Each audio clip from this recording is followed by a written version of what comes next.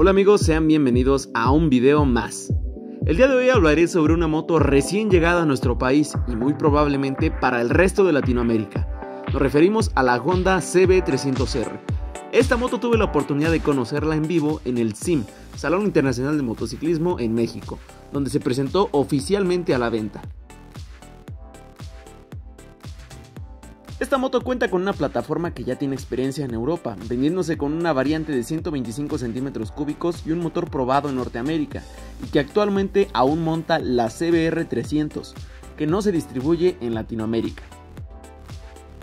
Pues bien, esta moto sigue portando el espíritu CB de Honda, lo cual es referencia a una moto que debe brillar por ser una moto ejemplar para uso citadino, pero sin perder una estética muy agradable. El diseño de esta moto es sin duda llamativo, luce como una moto clásica modernizada y cada elemento coincide muy bien con la esencia de la moto.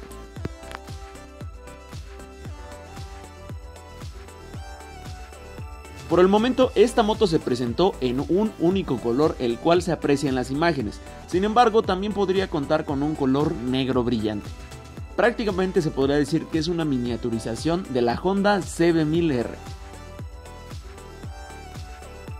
En la parte ciclo encontramos un chasis tipo diamante en acero inoxidable. Una cosa que me llamó la atención es su muy bajo peso de apenas 142 kilogramos en orden de marcha, lo cual lo debe hacer una moto sumamente dinámica. También contamos con barras telescópicas invertidas de 41 milímetros y un monoshock regulable atrás. En los frenos continuamos con la alianza entre Honda y Nissin, pues contamos con pinzas firmadas por esta marca en ambos frenos. Delante un disco de 286 milímetros con un caliper de anclaje radial de 4 pistones y atrás un disco de 220 milímetros con un caliper monopistón.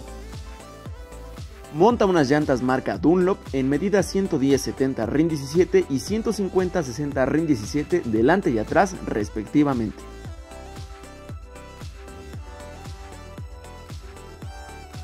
El motor es un monocilíndrico de 4 tiempos que cubica 286 centímetros cúbicos, el cual cuenta con 4 válvulas, doble árbol de levas a la cabeza y se acompaña de una transmisión de 6 velocidades. Este motor es refrigerado por líquido y me alegró ver que el radiador es en aluminio. Este motor es capaz de otorgar 31 caballos de fuerza y 27.5 Nm de torque.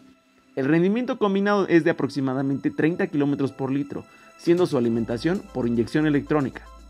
Por último, destacar su iluminación LED en todo el conjunto y su tablero completamente digital. Ahora la parte más interesante, el precio.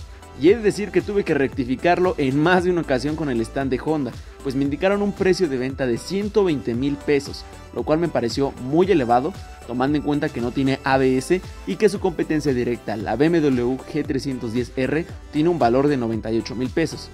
Espero que Honda rectifique su precio o en el mejor de los casos haya sido un error del personal de Honda quien presentó el producto en el SIM. ¿Y tú qué opinas de esta motocicleta? ¿Crees que merece ese precio por parte de Honda o debería bajar? No olvides dejar tu comentario en la parte de abajo. Suscríbete para más y sígueme en mis redes sociales. Soy JR Review y nos vemos hasta un próximo video. Bye.